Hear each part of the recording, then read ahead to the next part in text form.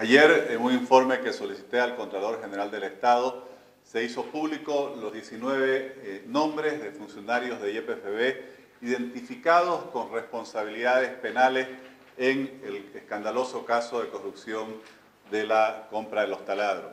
Se han identificado por el Contralor General del Estado 13 irregularidades cometidas durante este proceso. Quien tiene mayor responsabilidades es el expresidente ejecutivo de YPFB, el señor Guillermo Achá, quien ha sido denunciado por la Contraloría General del Estado ante la Fiscalía por uso indebido de influencia, incumplimiento de deberes, resoluciones contrarias a la Constitución. También ya se incluyen en esta denuncia al señor José Sosa, ex vicepresidente por contratos lesivos al Estado, y a la señora Paola Oporto, por uso de influencia e incumplimiento de deberes. Yo sí quiero informar a la opinión pública que el Contralor tenía toda esta información desde el 28 de julio y le he reclamado ayer por qué no se hizo público antes.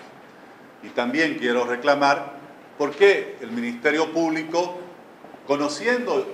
la denuncia del Ministerio de Justicia, el informe de la Unidad de Transparencia y EPFB y el informe de auditoría de la Contraloría desde fines de julio,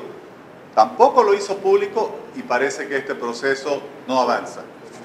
Por último, también quiero eh, denunciar las diferencias de tratamiento que están recibiendo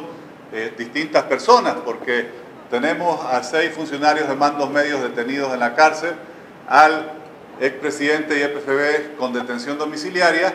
y a los otros funcionarios, eh, prácticamente 12 funcionarios que gozan, especialmente los ex vicepresidentes,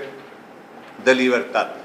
Nosotros vamos a estar fiscalizando para que este caso avance de una vez por todas, se lleve adelante el juicio, se establezcan las responsabilidades de cada uno, cada ciudadano pueda presentar eh, su defensa y la justicia declare, según corresponda, las sanciones penales que tengan